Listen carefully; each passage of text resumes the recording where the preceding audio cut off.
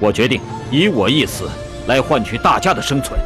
这位将军走投无路，想以自己的投降来换取七千多名将士的生路，可没想到他刚来到敌军大营，对岸就响起一片火炮声。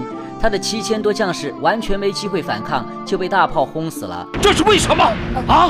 你们这些背信弃义的家伙！石达开从未料到自己会面临断水绝粮的绝境，他和数万手下被清军追赶到大渡河畔，想要活命就要强渡大河到对岸去。大渡河自古以来就是难以逾越的天险，可是越险，这青妖越不设防，我们便可以长驱直入。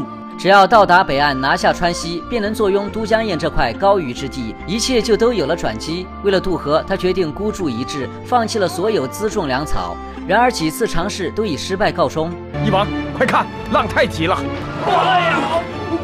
前有大渡河拦路，后有清军步步紧逼。石达开原本还想仰仗赖玉兴部接应，可刚刚得到消息，赖玉兴部兵败，几千人全部战死，他已经没得选了。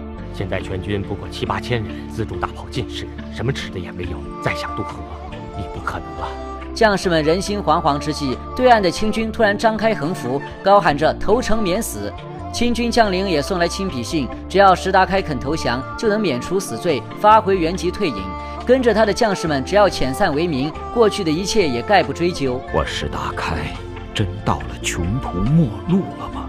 石达开不甘心就这样投降，可他要为忠心追随自己的将士们着想。最终，他愿意束手就擒，独自投降，用自己的死来换兄弟们一条活路。他们抓住了我，可以送到北京去请赏；抓住了士兵，又有什么用呢？可以我一人的死，保全七千将士的生。沦落到今天这一地步，都是他石达开指挥不当的缘故。最后给兄弟们磕个头，石达开孤身上路了。来到清军大营的第一件事，就是要求他们撤兵放人。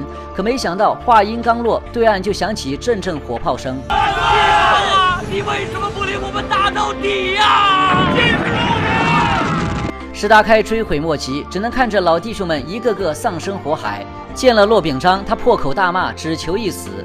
像你这种为人不耻的猪狗，就算你活一百岁，也是个败类。我石达开轰轰烈烈几十年。能为天下的黎民办一点好事，我的死值了。一八六三年六月，这位太平天国最忠勇的将领被凌迟处死。我谭绍光生是天国的人，死是天国的鬼，岂能与你们这般鼠辈为伍？玷污了我的一世清白。有人说，仅用六个月就打下中国半壁江山的太平天国，最终是毁在自己人手上。然而，真实情况更是有过之无不及。忠王李秀成十万大军被困苏州，他决定弃城出逃，再谋出路。可却需要一支小股部队牵制敌军，掩护大部队撤退。这是个十死无生的任务，所有人都不愿送死。穆王谭绍光却是主动站了出来，他愿意死守苏州，牵制清军。我愿死守苏州，战死为止。好吧，你带人留下，其余各王均归穆王谭绍光节制。李秀成意识到，不是所有人都愿意豁出性命为天国尽忠。他将其余几位王召集到一起，是去是留，他不强求。可只有一点，不能做对不起天国的事儿。即使你们不再跟随太平天国，也不能反亲为仇。忠王待我们恩重如山，我们怎么会当反复小人呢？都是一起拼过命的弟兄，李秀成不想闹得太难看。可他没想到，自己一时的仁慈之心，会害了忠心耿耿的谭绍光。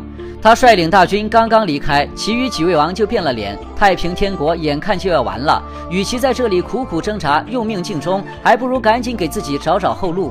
早在七天之前，我们八个人就生了反叛之心。昨天在城北阳澄湖上，我们拜见了李鸿章李大帅，他答应优待我们。几人口口声声说自己是出于好心，要带着穆王一起去享福，实际上是想帮清军兵不血刃拿下苏州，当做自己的投名状。谭绍光却一口咬定自己生是天国的人，死是天国的死人，绝不会与这帮鼠辈为伍。在天国里是堂堂正正的一个人，可是投到李鸿章门下，不过是一条摇尾乞怜的狗，会永世遭人唾骂。那我对不住了。谭绍光宁死不降，当场就被乱枪打死。靠着这几个二五仔，李鸿章不费什么周折便接管了苏州。然而看看这几位刚刚立了功的长毛，却是越看越不顺眼。现在他们可以背叛天朝，将来有朝一日情形不对，自然也会背叛他。几人吓了一跳，连连表忠心。可越是这样，反而越让人看不起。你们这样如此奴颜婢膝，让我看不起。来呀，来！拉下去，全部就地正法。